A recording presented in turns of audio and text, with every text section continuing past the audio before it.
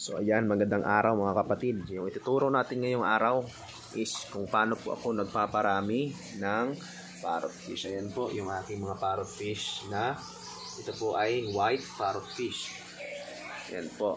Ituturo po natin yung kung paano ko po pinaparami dito. Yung may sarili po akong pamamaraan dito sa sa aking area kung paano ko po pinaparami ang white ah, parrot. So yung pagpaparami po ng white parrot is the same lang po sa pagpaparami ng convict parrot. Ayun po, convict parrot po yan. So ito po ituturo ko sa inyo. So ayan, mapapansin po ninyo na hindi po masyadong malalim yung tubig ng ng tank natin na ah, kung saan natin ibinibreed yung ah, white parrot. So kasi po ah, mostly na mga isda po ay pumupunta sa mga mababaw na parte ng tubig. At doon po sila nangingitlog or ah, nanganganak.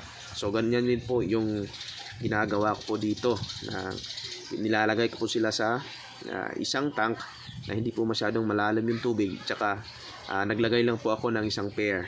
Dahil po pag naglagay, naglagay po tayo ng ah, ibang pair ang ibang pair ng white parrot is mag-aaway po yan at mamamatay yung ibang white parrot na na ah, minsan nasusugatan. So nilalagay po natin dito sa ating tank ay isang pares lang. So makikita po natin yung kanyang mga fry. Ayan po. So pag nalagay na po natin dito yung ah, pares ng white parrot natin hindi na po natin siya dito ah, ah, kukunin.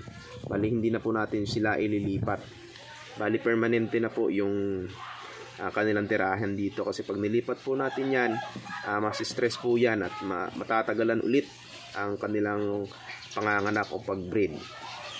So ayan po. Yung tank na ginagamit natin po dito is ang ref tab po. Yung nabili ko lang po yan sa junk shop.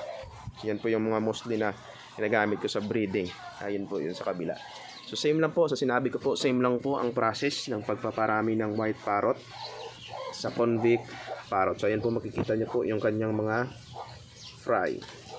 Pag ganyan na po kalaki yung mga fry, tsakaan po natin sila kukunin at ililipat po natin sa mas malapad po na pond at doon po natin sila i-go grow out.